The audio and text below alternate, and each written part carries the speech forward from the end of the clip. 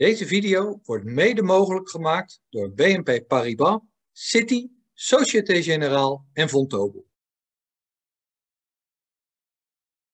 Hallo allemaal, welkom in de laatste week van het jaar door de feestdagen. Een iets ander ritme dan dat je van me gewend bent.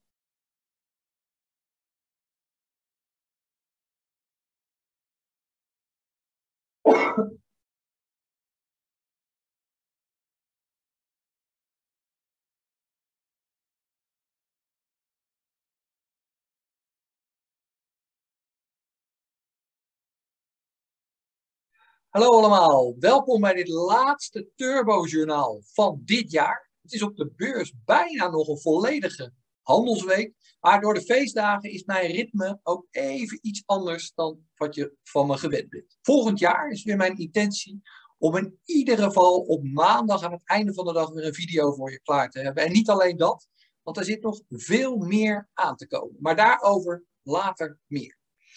Aan het einde van het jaar is het natuurlijk altijd goed om even de balans op te maken. En ik wil het in deze video een beetje luchtig en een beetje simpel gaan doen. Want ik ga het hebben over mijn kooplijst voor 2022. Maar voordat ik dat ga toelichten, waar staan we nu?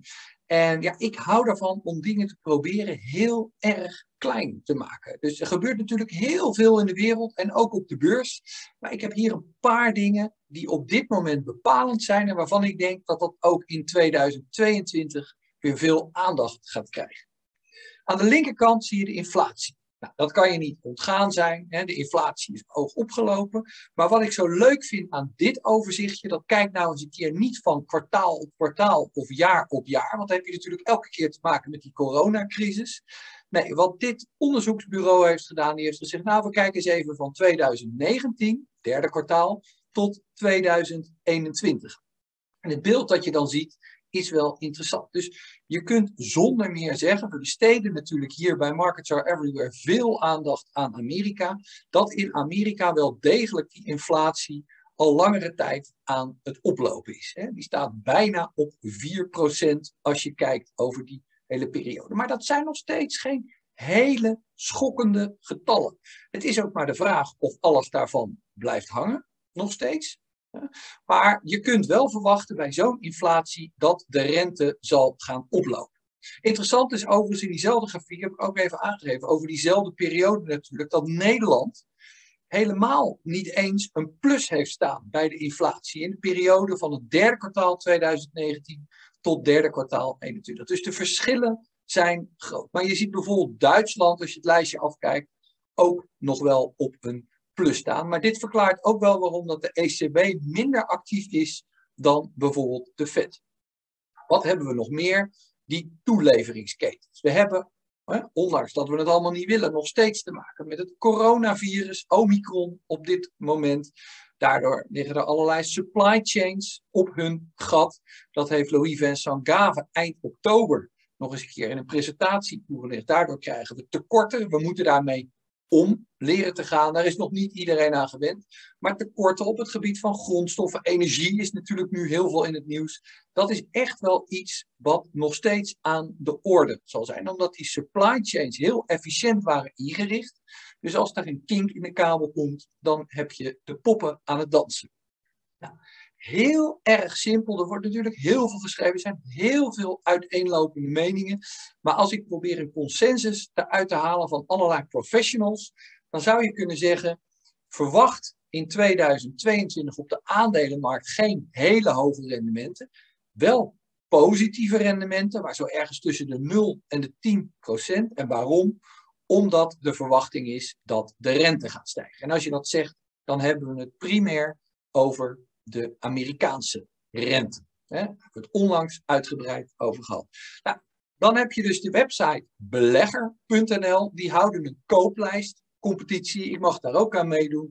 Je kunt, eh, misschien heb je het al gezien, want dat is van gisteren. Mijn drie aandelen, die staan daarop. Berkshire Hathaway, Microsoft, Palo Alto. Met een korte toelichting. En in deze video wil ik het nog iets uitgebreider voor je toelichten. Maar voordat ik dat doe, wil ik je er nog aan herinneren. Ik organiseer bij Markets Are Everywhere in het verlengde van belegger.nl ook een kooplijstjescompetitie. Die kun je vinden op de website Ja, via de URL die je hieronder ziet, maar ook onder de video zet ik er nog neer. En het is heel erg leuk als je meedoet, want dan kunnen we ook een soort wisdom of the crowd portefeuille maken. En je kunt jezelf testen of je het bijvoorbeeld beter doet dan de index of al die experts op belegger.nl. Experts, professionals, laten we het zo zeggen. Ja? Maar drie aandelen, hoe kom ik daarbij? Kijk, ik ben zelf er wel van uitgegaan dat ik denk, stel nou dat ik nu mijn geld zou moeten beleggen. Ja, dan weet ik natuurlijk dat als ik het in drie aandelen stop, dat ik bij lange na niet voldoende spreiding heb. Dat hoef je me bij deze video allemaal niet uit te leggen. Ik heb overigens deze drie aandelen zelf. Dat vindt men dan belangrijk om het transparant te hebben. Maar dit is op geen enkele manier een aanbeveling dan dat jij dit ook moet. Nee, ik kijk hier vanuit mijn eigen positie. En dan denk ik, als ik nu een spreekwoordelijke euro zou hebben aan het begin van 2022, zet ik die dan op een spaarrekening of ga ik die beleggen? Nou, ik denk dat de rente nog steeds zo laag staat dat in ieder geval een deel met geld dat je over hebt beleggen een goed idee is. Maar we gaan het wel op een veilige manier aanpakken. Want ik wil primair geen geld verliezen. Ik wil de spaarrente verslaan. Ja, en als het dan kan, ook nog wat meer rendement maken dan de index. Hey, en misschien die competitie winnen. Maar het gaat er mij eerst om om eens te kijken van waar zou ik nu mijn echte geld in kunnen stoppen als ik nog helemaal niks belegd zou hebben. Nou, dan kom ik uit bij Berkshire Hathaway. Dat is het beleggingsfonds van Warren Buffett. Ik denk dat alle trouwe beleggers en volgers van Markets Are Everywhere wel kennen, maar het is grappig.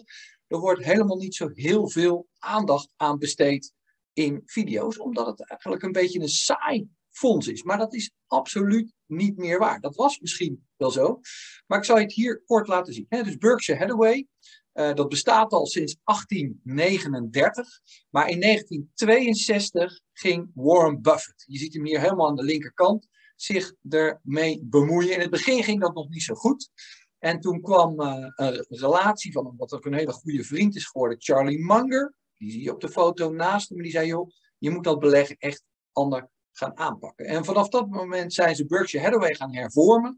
En het is nu een ja, beleggingsvehikel, zou je kunnen zeggen, beleggingsfonds, met maar liefst 363 miljard dollar aan waarde op de beurs. Je kunt de aandelen, de B-aandelen, kopen op dit moment, terwijl ik deze video opneem, rond de 296 top. Er zijn ook nog aandelen voor veel grotere coupures, maar dit is de retail versie. Nou, die twee mannen die je ziet, die zijn al heel erg oud. Uh, Charlie Munger wordt uh, over drie dagen, 1 januari, 98. Warren Buffett is volgens mij 91. Dus ze hebben eerder dit jaar gezegd dat Greg Abel, die je hier rechtsonder ziet, mocht Buffett, die zal wel in het harnas ooit sterven, denk ik, of het moet echt niet meer gaan, maar mocht die vandoor gaan, dan is Greg Abel degene die de scepter zwaait. Nou, uh, het leuke is, zeker bij Amerikaanse fondsen, die moeten allemaal gewoon publiceren waar ze in zitten. Dus uh, dit heb ik van CNBC afgenomen. Die hebben er een mooi lijstje van gemaakt. Vind je de letters te klein? Ga dan even naar de link die daar staat. Maar het is een vrij overzichtelijk lijstje waar die allemaal in zit. Nou, ze publiceren dat ehm, op basis van het einde van het kwartaal en dan zes weken later. Dus dit overzicht is gepubliceerd op 15 november. Maar het gaat dus over de slotkoersen en de portefeuille op 30 september. En wat zie je hier? Als je toch die kleine lettertjes leest, onderaan de streep. 349,96 miljard dollar in aandelen, dus afgerond 350. Daarnaast ook nog 149 miljard dollar aan cash. Als je dat bij elkaar optelt, zit je even afgerond op 500 miljard. Dus je ziet dat de beurswaarde van het fonds Berkshire Hathaway ook hoger is dan de waarde van de, waarde van de aandelen waarin belegd zit. Dat komt enerzijds een beetje omdat Berkshire Hathaway keert geen dividend uit. Dus er zitten hier ook nog toekomstige dividenden in. Maar voor een groot deel ook de verwachting dat mensen zeggen, nou ja, ook als ik iets meer betaal dan die losse aandelen, dan ben ik nog steeds blij als ik de strategie van Warren Buffett kan volgen. Buffett en Munger. Maar je zou dus ook kunnen zeggen, ik koop allemaal de individuele aandelen. En dan ben je iets goedkoper belegd. En dan krijg je dus niet uit de eerste hand de mutaties. En die kan je pas aan het einde van het kwartaal kan je die dan uitvoeren. En je krijgt natuurlijk helemaal geen garantie dat eh, Buffett en Munger het ook beter doen, dat Berkshire Hathaway het ook beter doet dan de markt. Nou, even uitvergroot, want dat kijkt wat prettiger, de top 10 posities en dat geeft dan een leuk beeld. Je ziet dat Apple, hè, en de vraag is, wist je dat? Maar dat Apple een overgrote deel van die portefeuille uitmaakt, ook natuurlijk door de enorme uh, uh, het goede rendement dat Apple op de beurs heeft. Maar dat heeft een weging op dit moment van 46,7 procent. Dat is nogal niet wat. Aan het einde van de jaren 90 bleef Berkshire Hathaway achter bij de technologieaandelen en flink ook. In 2016 uh, eh, is Berkshire in Apple gestapt. Een aantal transacties gedaan. Nou ja, en die hebben dus mooi het koersrendement meegepakt. Maar dat betekent ook dat Berkshire dus niet meer 100% het traditioneel waardefonds is, zou je kunnen zeggen. Er zit nog wel heel veel holdings in die dat wel zijn. Ik heb er vijf uh, zwart gemaakt. Uh, want dat zijn allemaal financiële waarden. Even terug naar de visie. De verwachting is dat de rente gaat stijgen, zeker in Amerika. Als de Fed de rente gaat verhogen, gaat het om de korte rente. Dat is vaak in het voordeel van banken. Nou, en op deze manier beleg ik dus breder gespreid in een aantal Amerikaanse banken die ik zelf eigenlijk, als ik heel eerlijk ben, niet zo heel erg snel zou kopen. Uh, daarnaast zie je nog andere waarden aandelen. Coca-Cola, Kraft Heinz, uh, Verizon communicatie. Ik voel me hier comfortabel bij dat ik denk, goh, bij het, bij het macro-economische sentiment waar we nu zijn, zou het best kunnen zijn dat dit een relatief goede belegging gaat worden. Dus wat als onderbouwing. Nou, nog even kijken, hè. wat ik ook fijn vind, is dat Buffett door de jaren heen, en dat doet hij dus al tientallen jaren, uh, want we hebben het hier bijvoorbeeld in dit kleine stukje over een nieuwsbrief. Die nieuwsbrief van Warren Buffett. Als je die nog nooit gelezen hebt, is echt de moeite waard, één keer per jaar, om te lezen hoe hij tegen de markt aankijkt. Daar leer je, wat mij betreft, enorm veel van. We hebben het hier dus over een nieuwsbrief van 30 jaar geleden. Toen had hij het al over inflatie. En inflatie is er altijd moeilijk hoe je daarmee om moet gaan. En dan is het prettig, vind ik, om iemand te volgen die daar al veel meer onderzoek naar gedaan heeft dan ik. Nou, hij zegt in ieder geval op de eerste plaats, hè, bij inflatie kan er niet zoveel aan doen, maar blijf in ieder geval belegd in aandelen, want dat is eigenlijk de enige manier om uh, ja, daar toch met een positief resultaat uit te komen. En wat voor aandelen dan? Aandelen die makkelijk hun prijzen kunnen aanpassen en bedrijven die makkelijk meer business kunnen doen zonder dat ze heel veel meer hoeven uit te geven. Dus heel kort samengevat in die groene cirkel, asset light businesses with pricing power. Nou, um, dat gaan we doen. Uh, hoe doet Berkshire ten opzichte van de brede index? Dan heb ik even de IWDA, de MSCI World uh, World Index ETF genomen. Die mag je niet één op, twee, één op één vergelijken. Berkshire noteert in dollars. Uh, eh, IWDA in euro's. Dus Berkshire heeft het eigenlijk nog wat beter gedaan. Maar waarom laat ik dit plaatje zien? is een grafiek van de afgelopen vijf jaar. Je ziet, het is eigenlijk een bepaalde manier van een index tracker. Dus een veilige keuze. Je zou kunnen zeggen een soort verdediger in de aandelenportefeuille. Ah, en wat nogal grappig is, hè, dat zijn de leuke verhalen om het beleggen heen. Misschien denk jij wel van, oeh, weet je, misschien kan ik het nog wel beter doen uh, dan uh. Er zijn heel veel mensen die denken, nou, als ik meteen kan doen als hij instapt, kan ik ook een goed rendement maken. En ik vond dit artikel uit 2019, het is geen grap, maar er zijn dus gewoon andere beleggers die uh, tracken dus de vliegdata voor vliegtuigen, omdat in 2018 Um, of 2019, weet ik niet meer precies, zou ook kunnen. Uh, is er dus een vliegtuig gespot van Occidental Petroleum in Omaha, waar Buffett woont. En toen zeiden mensen, hé, hey, wacht eens even, als zij daar komen, dan gaat hij misschien een belang nemen. En twee dagen later werd dat aangekondigd. Dus die data van die vliegtuigen, nogmaals, is geen grap, die worden via platformen als Quandle en JetTrack aangeboden en verkocht aan beleggers. Want je zou daar wat af kunnen. En de leuke speculatie is dat de laatste keer was die jaarvergadering niet meer in Omaha, maar in ehm, eh, het westen van de Verenigde Staten. En dan zijn er meteen allemaal mensen die gaan kijken, hé, waar zitten die bedrijven dan? Welke bedrijven zitten daar? Zou die ergens gaan instappen? Dat is erg intrigerend. Maar dat houdt het beleggen ook leuk. Ja. Goed, tijd voor nummer twee, Microsoft. Ja, het is al uh, lange tijd een van mijn favorieten. Bedrijf opgericht in 1975. Sindsdien maar drie CEO's gehad. Bill Gates, je ziet hem helemaal links. Satya Nadella, die het nu doet.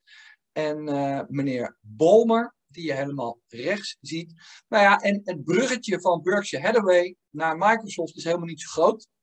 Want Bill Gates is natuurlijk een van de beste vrienden van Warren Buffett. En Warren Buffett zegt daarover, hè, waarom heeft hij geen Microsoft in portefeuille? Hij zegt, ja, ik ken Gates gewoon te goed. Hij speelt nog steeds een rol bij Microsoft.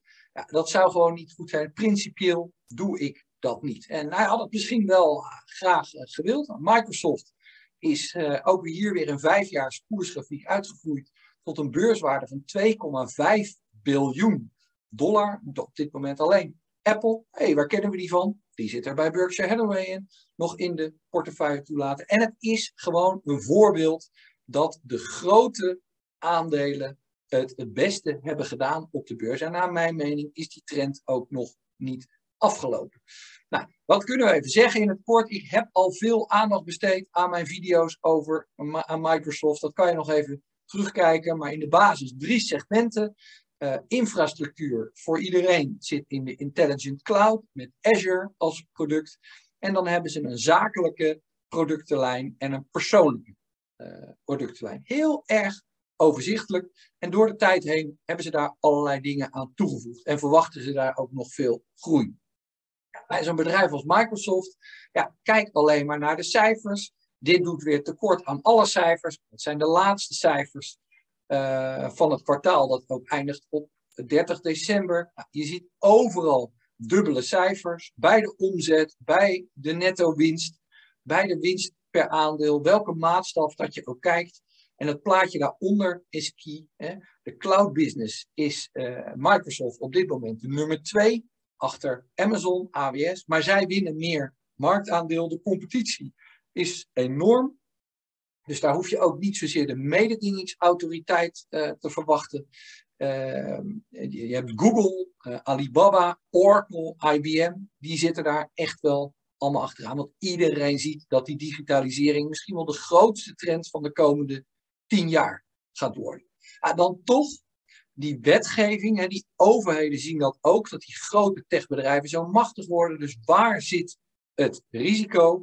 Dat zit niet bij die box rechtsboven, maar rechtsonder bij de Digital Markets Act en een eventueel equivalent daarvan, wat in Amerika ooit gaat komen, is dat de overheid de zogenaamde gatekeepers wil aanspreken van joh, weet je, je moet toch wat meer toelaten. En als je Microsoft gebruiker bent, wat ik ook ben, dan zie je dus ook dat services als Skype en Bing proberen aan je op te dringen. Ben daar overigens niet zo van gecharmeerd. Je moet het elke keer weer uitzetten. Denk je dat je Skype hebt uitgezet, komt hij weer terug.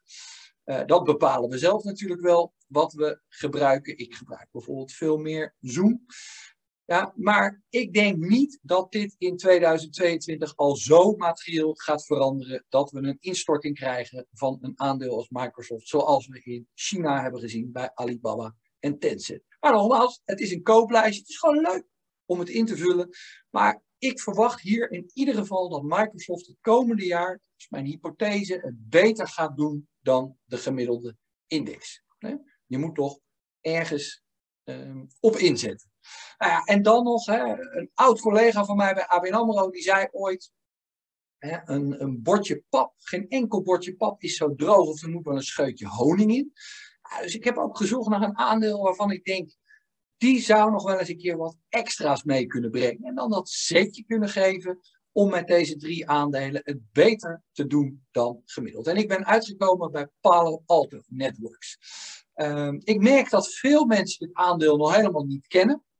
En daarom misschien een iets andere uh, introductie. Het bedrijf is opgericht in 2005, dus het is een veel jonger bedrijf en ze doen aan cybersecurity. Eigenlijk in de basis is dat exact wat zij doen. Het is typisch een product van Silicon Valley in het westen van de Verenigde Staten. Daar is het hoofdkantoor ook gevestigd. Ehm, de meneer die hier rechts op de foto staat, is een Amerikaans-Israëlische zakenman, Neer Zoek. Die heeft het opgericht in 2005. En in 2018 heeft hij de meneer links, Nikesh Arora, erbij gehaald. Die heeft bij eh, Google gewerkt en bij Softbank. En die is nu de CEO. En Nia Zoek gaat verder als CTO. Waar toch ook zijn hart en waarschijnlijk ook zijn grootste kennis en vaardigheden liggen. Nou, het bedrijf is inmiddels geen kleintje meer. Het heeft een marktwaarde van 56 miljard dollar. Maar dat is dus wel een hele andere orde van grootte dan bijvoorbeeld een Microsoft. Microsoft doet overigens ook veel aan cybersecurity, maar die hebben dus nog heel veel andere dingen. En uh, cybersecurity is voor Palo Alto Networks echt de core business. Nou, je ziet dat ze het op de beurs de afgelopen periode ook beter hebben gedaan dan gemiddeld. Over de afgelopen vijf jaar wat minder dan uh, Microsoft, maar nog steeds eentje waarvan beleggers grote groei verwachten. Nou, het aandeel is duur, dus ze zullen moeten blijven groeien om in die waardering uh, te komen. En um, wat je ook ziet bij Palo Alto is dat ze een van de aandelen is die eigenlijk op dit moment zo ongeveer op de all-time high staan. Dus ja, voor de mensen die denken er komt een hele grote daling, ja, dan zou je dit soort dingen niet moeten doen. Maar ja, elk aandeel, als ze weer hoger willen komen, zal je toch elke keer door die all-time high tegenkomen. En cybersecurity is volgens mij een business op het moment dat er minder kapitaal is, minder schaarste, de hele wereld gaat digitaliseren, is iets waar geen enkel bedrijf, groot of klein, op gaat bezuinigen. Want zo'n ransomware aanval die je hele business plat ligt, ja, dat, is, dat kan je de kop kosten. Dus daar wordt niet op bezuinigd. En dat is de business waarin zij zitten. Nou, um, heel overzichtelijk verhaal. Je kunt, hè, als je een bedrijf niet kent, ga naar de website Investor Relations. Ook hier, ze hebben een Analyst Day gehad in september. Ik heb er twee slides even uitgepakt om gewoon even de basis te introduceren. Het is niet meteen de reden om erin te beleggen, maar gewoon om er kennis mee te maken. Uh, ze hebben gezegd, nou, uh, we zetten in op drie dingen die wij denken dat er gaat gebeuren. Gewoon de, de netwerken, de hardware, waar bedrijven op draaien, de datacenters, die moeten worden beveiligd. Tak 1. We zien een overgang naar de cloud. Dus ook de data van bedrijven die in de cloud staan, moet ook worden beschermd. Dat is tak 2. Ja, en waar de groei vandaan moet komen, is, zou je kunnen zeggen, uh, het, het, de divisie, het onderdeel dat zich bezighoudt met next generation security. Er komen natuurlijk veel meer digitale toepassingen bij.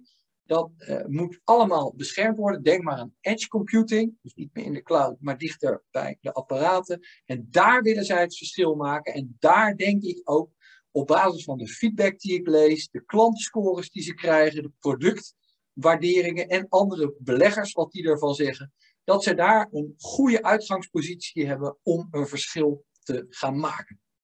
Ja, maar ze hebben daar natuurlijk nog veel te bewijzen. Nou, wat mij aanspreekt, ze hebben drie pijlers. Dan hebben ze er dus ook heel overzichtelijk drie platformen bij, wat ze aan hun klanten aanbieden. Het is niet zo bijzonder, maar het is lekker overzichtelijk en ook goed te volgen als er dadelijk kwartaalcijfers uitkomen voor mij als belegger om te zien hoe ze het doen. Ze hebben dus een netwerkplatform voor mensen die firewalls zoeken voor een netwerk. Ze hebben een cloud platform en dus een ehm, next generation eh, platform. De kern, dat zie je daaronder staan, maar dat is helemaal niet uniek voor Palo Alto, is Zero Trust Security. Better safe than sorry, alles checken. Ja, dat is natuurlijk wat voor de hele sector van belang is. Ja. Nou, um, dan gaan we eens kijken waar komt de omzet vandaan bij dit bedrijf dat dus begonnen is in 2005. Dit komt van uh, Statista. Uh, je ziet logischerwijs de meeste omzet uit uh, Amerika. Het goede is, niet alleen Amerika, maar ook Europa en Asia Pacific groeit. En groeit met goede cijfers, dus in alle regio's in groei. Ze investeren ook veel. Ze hebben ook relatief wel wat hoge schuld als je het afzet tegen andere uh, techbedrijven. Dus daar moeten we wel die rente in de gaten houden. Dat zou een tikkie terug kunnen zijn, maar dat komt ook omdat ze de, het, het ijzer smeden nu het vuur heet is. Wat je niet in het plaatje ziet, maar uh, wat ik wel op andere plekken ook zie. Hè, ze bedienen grote bedrijven, middelgrote bedrijven, kleine bedrijven. En zeker ook voor dat midden- en kleinbedrijf heeft Palo Alto een oplossing uh, ja, waar ze hele goede business kunnen doen. En ze focussen ook om heel snel nieuwe diensten te kunnen uitrollen. Dat is echt een uh, speerpunt aan de verkoopkant. Dus nou, weet je, het is een leuke gok, zou je kunnen zeggen. Want voor een goede analyse moet je er veel dieper induiken. Dat pretendeer ik hier helemaal niet te doen. Het is een kooplijstje. Ja, Berkshire Hathaway, Microsoft en dan Palo Alto erbij. Wat ze natuurlijk willen, hè, is dat ze trusted partner worden van hun klanten. Niet dat ze zomaar een keertje worden ingehuurd. En je ziet ook als je naar de omzetverdeling kijkt, dat ongeveer 75% komt uit recurring fees, terugkerende inkomsten. En 25% uit de verkoop van hardware en dat soort dingen. En dat is natuurlijk ook een model voor de toekomst. Als je zegt een bedrijf wat ook in de toekomst veel cash kan genereren tegen goede marges, dan zit je hier volgens mij goed. Nou je ziet dus uh, wel uh, drie Amerikanen. Dus dat is op zich ook al een gok. Dus deze drie aandelen zijn erg kwetsbaar voor verandering in de dollar. Maar wordt de dollar sterker, bijvoorbeeld omdat die rente omhoog gaat, dan kunnen ze het waarschijnlijk toch wel eens goed doen. Ja? Dus dat nog even terzijde. Nou, wat is verder nog leuk aan Palo Alto? Palo Alto Networks is ooit naar de beurs gegaan uh, in New York, op de New York Stock Exchange. Maar dit jaar zijn ze overgestapt naar de Nasdaq. Omdat daar gewoon meer technologie en cybersecurity bedrijven uh, staan genoteerd met wie zij zich ook vergelijken. Ja, waarom dat ze dan eerst naar New York zijn gegaan, daar wil ik even vanaf zijn, maar dat weet ik niet. Maar um, ze zijn eerder dit jaar naar de Nasdaq gegaan en eerder deze maand, dat noemde ik ook al in Turbo Journaal uh, 76, Um, dus dat is van uh, uh, twee weken geleden. Zijn ze toegevoegd aan de Nasdaq 100-index. Samen met bedrijven als Airbnb, um, Lucid Motors, maar ook andere cybersecurity bedrijven als Zscaler en Fortinet. Ja. Ze zijn alleen, dat vind ik wel grappig, blijkbaar nog niet belangrijk genoeg bij uh, Bloomberg, waar dit bericht vandaan komt, om in de titel te staan. die eer die hebben Airbnb, Lucid en Zscaler gekregen. Maar dat komt misschien ook wel omdat voor degene die de titels maakt, Palo Alto Networks ook wel een erg lang woord is en dan past het niet. We zullen het waarschijnlijk nooit weten. Ja. Nou, wat ook leuk is, en dat, als ik heel eerlijk ben, hè, je moet er misschien niet op afgaan, maar het sterkt toch wel mijn vertrouwen in zo'n aandeel. Goldman Sachs Asset Management, die hebben uh, de Future Tech Leaders Equity ETF uitgegeven eerder dit jaar, in september. Het leuke is, het is een actief beheerde ETF, waarbij ik wel denk, noem het dan gewoon een beleggingsfonds en noem het geen ETF, want dat is verwarrend. Maar uh, fijn, zij doen het toch wel. Hè? De GateTech kan je in Nederland niet kopen, want dat is geen usage. Die vraag heb ik eerder gekregen, laat ik dat er nog een keer bij zeggen. Maar zij focussen zich op bedrijven die nog geen marktkapitalisatie hebben van 100 miljard, maar waarvan ze verwachten dat die er op termijn wel gaan komen. En de reden, ik vind dat helemaal niet zo gek, is dat ze zeggen, ja, de meeste beleggers, die hebben al uh, ja, veel te veel exposure naar die top tech aandelen, die big tech bedrijven.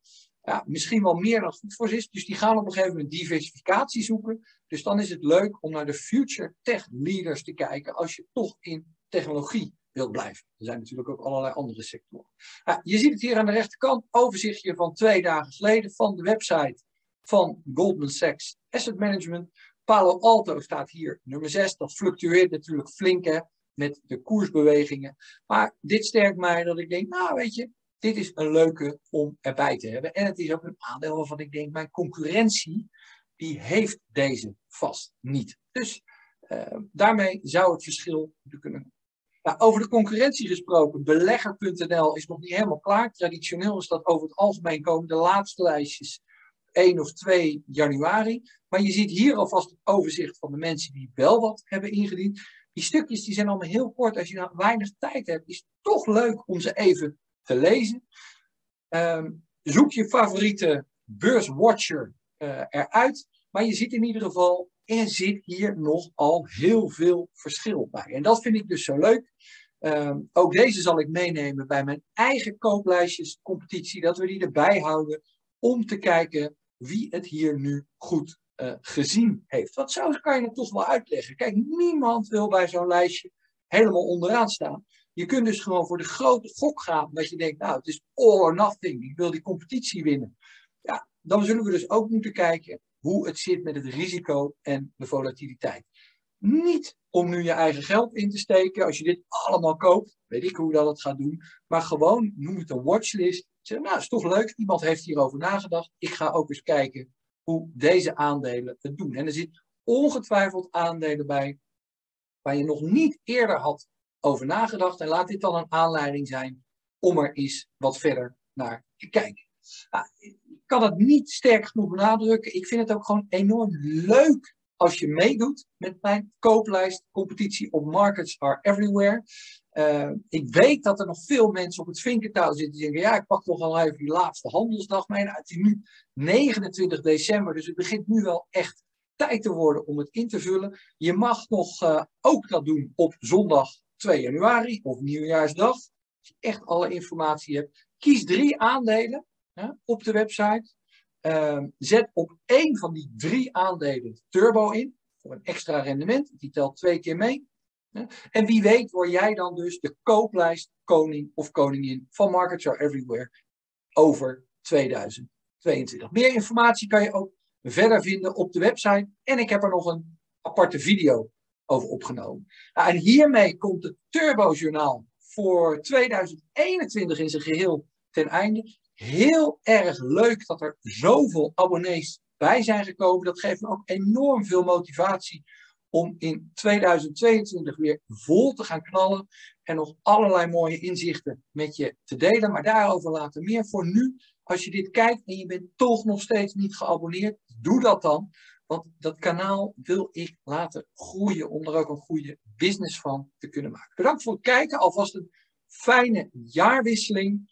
En tot in 2022.